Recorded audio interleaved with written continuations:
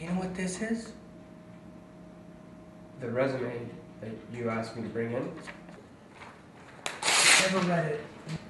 What if I told you at howcollege.com we don't look at resumes, we look at people? Um, I'd say, how come you asked me to bring in a resume? Okay, no, what you would probably say is, whoa, that's a company I want to work for.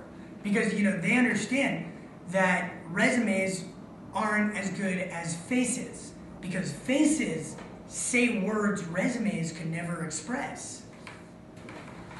But theoretically, though, if a if a resume is only words, that then can it express anything? Schmafana. That's not a resume word. That's not even a human word. But your face just told me it. And it means good employee and handsome. Thank you. Yes. It's powerful stuff. Yes.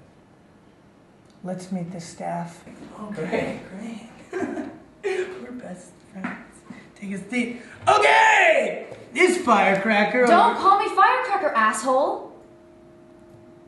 This spunky hottie is Frankie, and she is she's my female intern from SC, and she's here to give the girl perspective of college. Um, and she's also my girlfriend, so don't touch. I am not your girlfriend. Did you get my gift bag? I got her gift bag. That's well, you don't have to take it out here.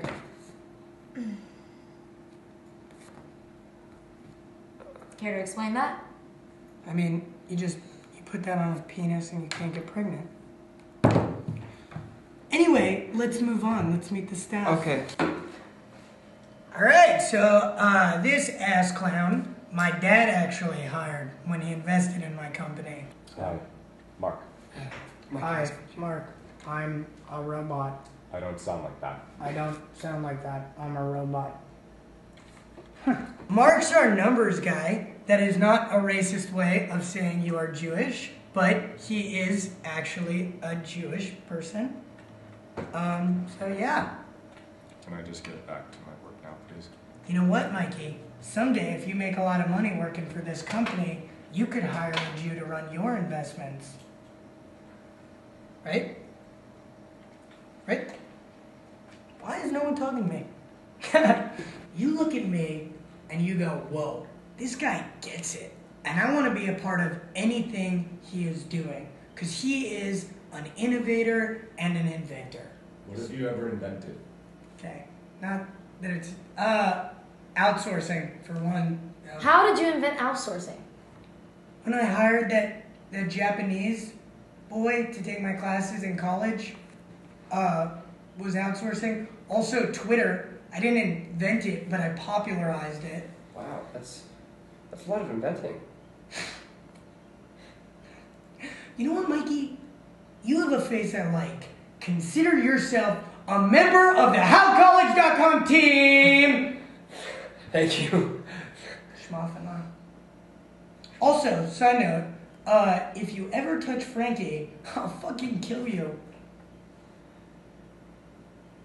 I'm joking. I'm not fucking joking.